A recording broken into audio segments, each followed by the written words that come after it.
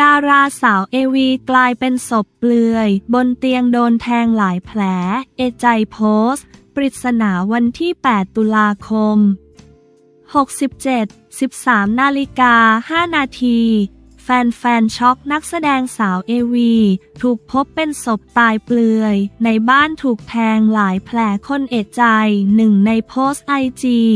ข้อความมีในยักเว็บไซต์ต่างประเทศรายงานว่า ซินดี้เอลิซาเบธเฮอร์นันเดส เปเรส นักแสดง AV ชาวเม็กซิกัน ถูกพบว่าเสียชีวิตในบ้านของเธอ โดยนอนเปลือยอยู่บนเตียง และถูกแทงหลายครั้ง จนเสียชีวิตหนึ่งในโพสต์ก่อน เสียชีวิตของเธอมีนัยบางอย่าง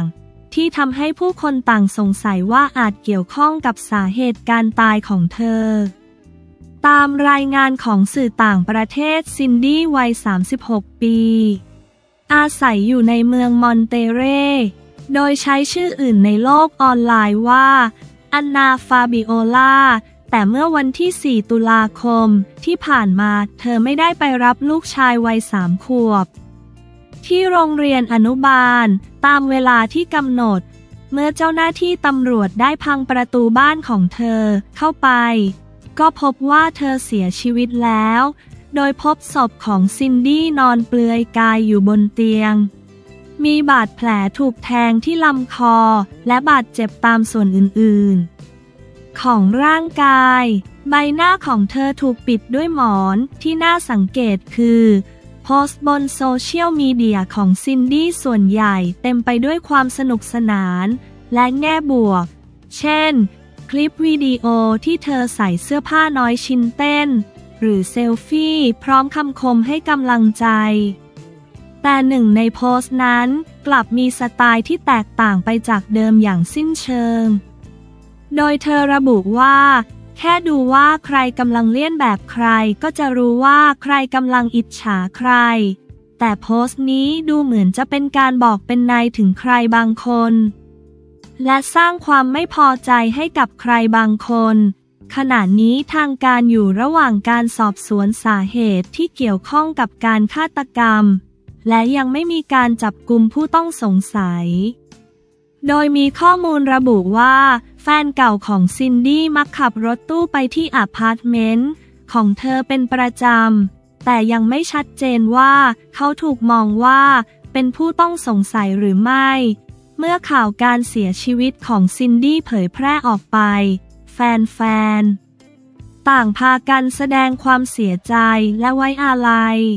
โดยมีข้อความเช่น ไม่มีเหตุผลใดที่ควรทำให้ชีวิตของใครต้องจบลงแบบนี้ ทิ้งเด็กชายให้กลายเป็นเด็กกำพร้า และทำให้ครอบครัวต้องเจ็บปวด ฉันคิดว่าในที่นั้นน่าจะมีกล้องวงจรปิด หวังว่าอาชญากรจะไม่ได้หลุดพ้นจากการลงโทษ และฉันหวังว่าจะสามารถช่วยให้ซินดี้ได้รับความยุติธรรม ขอให้พระเจ้าคุ้มครองลูกชายของเธอให้พ้นจากอันตราย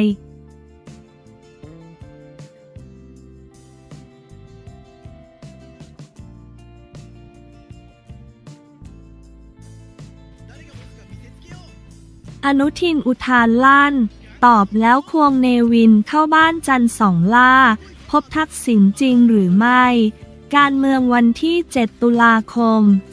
2567 15นาฬิกา 22 นาทีอนุทินตอบแล้ว หลังมีข่าวลือควงเนวิน เข้าพบทักษิณที่บ้านจันสองล่าบอกไร้สาระก่อนย้อนถามใคร เป็นคนออกข่าวเมื่อเวลา 13 นาฬิกา 40 นาที วันที่ 7 ตุลาคม 2567 ที่ทำเนียบรัฐบาลนายอนุทินชาญวีรกูล รองนายกรัฐมนตรี และรัฐมนตรีว่าการกระทรวงมหาดไทยในฐานะหัวหน้าพักภูมิใจไทย ให้สัมภาษณ์ถึงกระแสข่าวนายเนวิน ชิดชอบประธานสโมสรฟุตบอลบุรีรัมยูไนเต็ด เข้าพบนายทักษิณชินวัตร อดีตนายกรัฐมนตรีที่บ้านจันสองล่า เมื่อค่ำวันที่ 6 ตุลาคมที่ผ่านมา โดยนายอนุทินได้อุทานพร้อมกับย้อนถามว่า มีข่าวด้วยหรอ ผู้สื่อข่าวถามว่า มีกระแสข่าวด้วยว่านายอนุทิน ได้เข้าไปที่บ้านจันสองล่าด้วย นายอนุทินสายหน้า พร้อมพูดว่า ไร้สาระ จากนั้นนายอนุทินได้ก้าวขึ้นรถยนต์ที่จอดเทียบอยู่ ผู้สื่อข่าวถามย้ำว่าไม่ใช่เรื่องจริงใช่หรือไม่ นายอนุทินย้อนถามว่า ใครเป็นคนออกข่าว พร้อมกับสายหน้า จากนั้นได้เดินทางออกจากทำเนียบรัฐบาลทันที หนีสื่อ อนุทินวนรอบทำเนียบก่อนยิ้ม รับข่าวควงเนวิน พบทักษิณบ้านจันวานนี้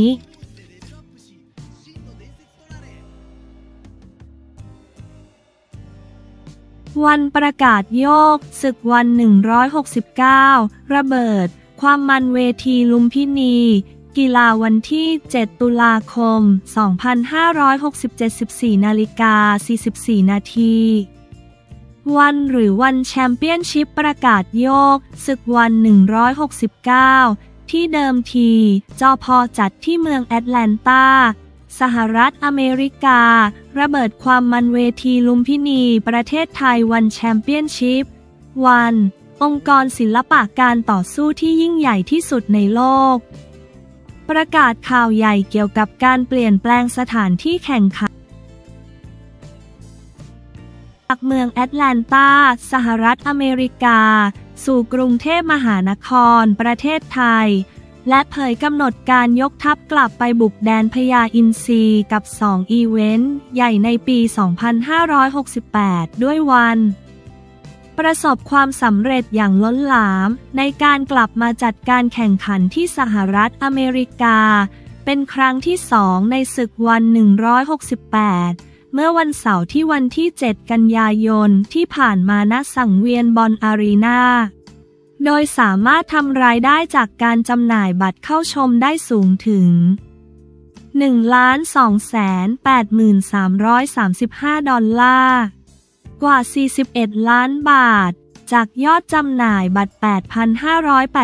8,583 ที่นั่ง ยอดผู้ชมทั้งหมด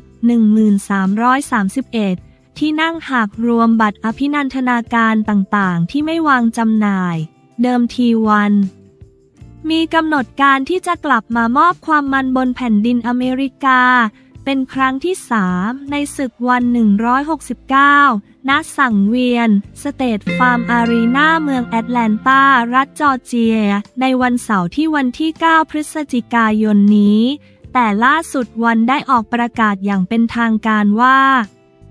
ศึก ONE 169 จะย้ายมาจัดขึ้นที่กรุงเทพมหานคร ณสนามมวยเวทีลุมพินี รามอินทรา แทนเนื่องจากข้อสัญญาผูกพันที่มีกับเครือข่ายพันธมิตรในไทย ทั้งนี้แฟนๆ ทุกคนที่ซื้อบัตรเข้าชม ONE 169 ไปแล้ว จะได้รับเงินคืนเต็มจำนวนผ่านทาง Ticketmaster นอกจากนี้ยังสามารถลงทะเบียนเพื่อรับสิทธิ์ เข้าชมการแข่งขันของวันประจำปี 2568ในสหรัฐ อเมริกาในราคาพิเศษด้วยคลิกที่นี่เพื่อรับสิทธิ์สำหรับศึกวัน 169 ที่จะจัดขึ้นณสนามมวยเวทีลุมพินี รามอินทรา ในช่วงพรายไทม์อเมริกา ซึ่งตรงกับช่วงเช้าเวลา 8 นาฬิกา ในเช้าวันเสาร์ที่วันที่ 9 พฤศจิกายนนี้ มีคู่ชูโรงเป็นการป้องกันบัลลังก์ MMA รุ่น Heavyweight 225 ถึง 265 ปอ ครั้งแรกของอนาโตลี มาลีคิน เจ้าของแชมป์โลกวัน MMA 3 รุ่นชาวรัสเซีย พบกับผู้ท้าชิงสุดอันตราย รุงรุง อูมาคานนักมวยปล้ำดาวดัง จากเซเนกัลพร้อมด้วย รถถังจิตเมืองนนท์แชมป์โลกวันมวยไทยรุ่นฟลายเวท 125 ถึง 135 ปอ ขึ้นสังเวียนป้องกันบัลลังก์ครั้งที่ 6 บนแผ่นดินบ้าน เกิดพบกับคู่ปรับเก่า จาคอบ สมิธ จากสหราชอาณาจักร นอกจากนี้วันยังได้ประกาศโปรแกรมการแข่งขันของศึกใหญ่ ประจำปี 2568 ที่จะยังคงออกอากาศสด 12 อีเวนต์ในช่วงเวลาพรายถามเป็นประจำทุกเดือนผ่านทางพรามวิดีโอ ในสหรัฐอเมริกา และแคนาดาเป็นปีที่ 3 ติดต่อกันโดยจะมี 2 อีเวนต์ใหญ่ในวันที่ 24 พฤษภาคม และวันที่ 6 ธันวาคม ที่วันจะกลับไปสร้างความประทับใจให้กับแฟนกีฬาการต่อสู้ชาวอเมริกันอย่างต่อเนื่อง ไม่หมดเท่านี้ยังมีศึกนัดยิ่งใหญ่วัน 170ที่กำหนดจัดขึ้นณ Impact Arena เมืองทองธานีในวันที่ 24 มกราคม 68 โดยจะถ่ายทอดสดในช่วงพรายไทม์ของเอเชีย ซึ่งการแข่งขันในวันนั้น จะถูกนำมาใช้เป็นฉากสำคัญในการถ่ายทำภาพยนตร์เรื่อง The Beast in Me ซึ่งนำเสนอเรื่องราวเกี่ยวกับกีฬาการต่อสู้แบบผสมผสาน MMA แนวแอคชั่นดราม่าที่ ONE เป็นผู้ร่วมสร้าง นำแสดงโดย รัสเซลโครว์ และแดเนียลแม็กเฟอร์สัน ซึ่งมีกำหนดฉายในปีเดียวกันในส่วนของรายละเอียดเกี่ยวกับคู่ชกในแต่ละรายการ รวมถึงการจำหน่ายตั๋วเข้าชมในสนาม จะมีการประกาศให้ทราบในภายหลังแฟนกีฬา ติดตามข่าวสารและความคืบหน้าของ ONE ได้ที่ Facebook ONE Championship Thailand เว็บไซต์และ Instagram ONE Champ